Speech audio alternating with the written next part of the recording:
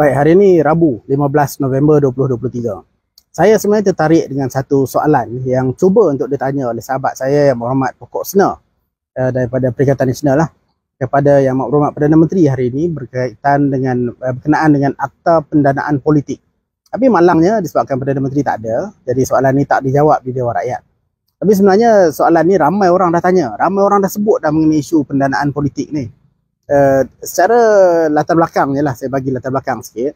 Uh, sebenarnya semua parti, tak kira lah Perikatan Nasional, Pakatan Harapan, Barisan Nasional, ada letak dalam manifesto masing-masing pada PRD 15 hari itu, bahawa mereka nakkan supaya akta pendanaan politik dilaksanakan. Jadi sebenarnya tak jadi masalah kalau sekiranya undang-undang ni nak dibawa ke parlimen untuk diluluskan. Sebab sebenarnya semua pihak sudah pasti akan menyokong usaha ni. Dan sebenarnya juga lah kan, tak susah untuk kerajaan merangka uh, akta pendanaan politik ni. Saya sendiri dah pernah terlibat dalam usaha untuk uh, regulate uh, pendanaan politik ni sejak zaman Datuk Seri Najib lagi. Saya dilantik masuk satu jabatan kuasa oleh Datuk Seri Najib, masa itu dipengusikan oleh Menteri Jabatan Perdana Menteri. Kemudian apabila Pakatan Harapan menang, Tun Dr. Mahathir lantik saya masuk dalam satu jabatan kuasa uh, Electoral Reform Committee diteruskan lagi zaman Tan Sri Muhyiddin diteruskan lagi zaman Ismail Sabri. Dan ha hasilnya sebelum PRU 15 sebenarnya kita dah sampai ke peringkat ada draft akta pendanaan politik ni. Tapi nampak gayanya walaupun usaha ni dah lama dibuat eh, kajian dah lama dibuat Anwar Ibrahim sebagai Perdana Menteri tidak ada keazaman politik.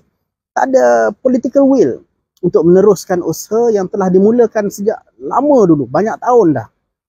Bagi saya sebenarnya akta ni amat penting untuk memastikan setiap ahli parlimen dapat peruntukan ahli parlimen yang sama rata. Dan di waktu yang sama, semua peruntukan lain yang dapat dari mana-mana sumber juga boleh diuruskan, di-manage dengan cara yang transparent, telus. Dan kita ini juga adalah satu cara untuk mengelakkan daripada berlakunya lagi apa yang saya nak kata sebagai pelacuran politik yang kita lihat berlaku baru-baru ni.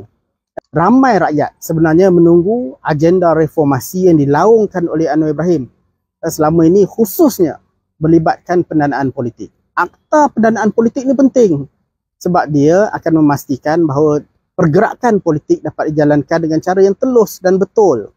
Tapi itulah kita lihat sekarang ni reformasi di bawah Anwar Ibrahim telah pun mati.